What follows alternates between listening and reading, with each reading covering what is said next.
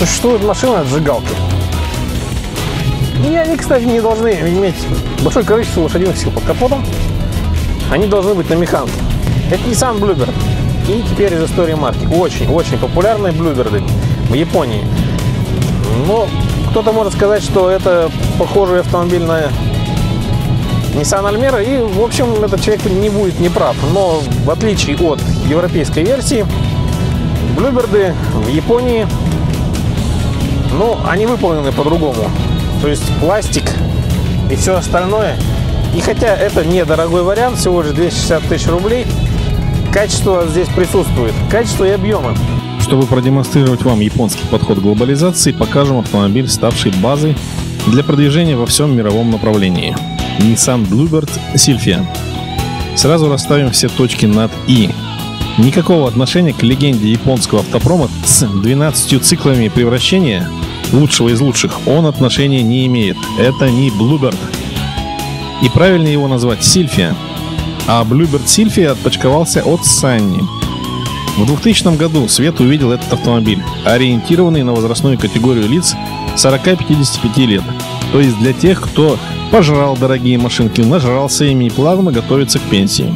Отсюда консервативный дизайн и экологичные и экономичные движки QR20DD, QG18DE и QG15DE.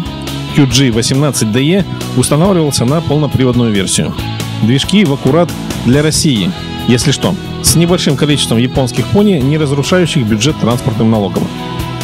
Его правильнее отнести к промежуточному классу между C и E. Комплектовался автомобиль вариатором, автоматом или пятиступкой механкой. Поэтому говорить о проблемах с запчастями как-то не приходится.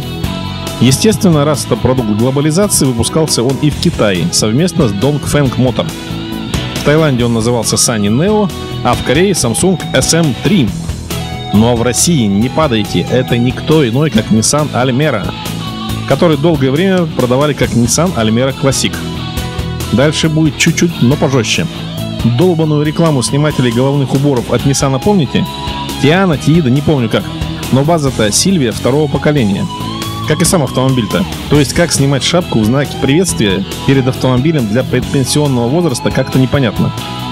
Мало того, нахрена ее снимать, если в 2012 году вышел чистый Сильвия третьего поколения. И теперь маленький нюанс. Сколько машина служит? Из Европы Мерседесы, пятерки, семерки, ну и трешки, и гэшки. Это от бумеров и от мерсов опять же а также 80 и сотка и пару фольксов. И это те самые машины, которые вы можете брать, не взирая на возраст. Пендосы все хороши, но маленькое правило. Там северная часть Америки это Волгоград. Морозы бывают, но редко. То есть по России американцы ездят, когда и внизу все подгнило. Но на раме пофиг. Конечно, имея сталь, все, что внизу, меняется легко. Теперь про Японию. Я не знаю как, но простите, все, что произведено из Советского Союза и далее, тоже оно ездит. Вы круче велика, чем Mitsubishi Delica видели? Так вот они работают и с возрастом от 80-х годов прошлого века. То бишь и в 30, и в 40 машина также ездит. Во как! И поэтому больше удовольствия у вас должны получать японские агрегаты. К слову, что-то я не видел раскореженной техники японских и чисто японских производителей.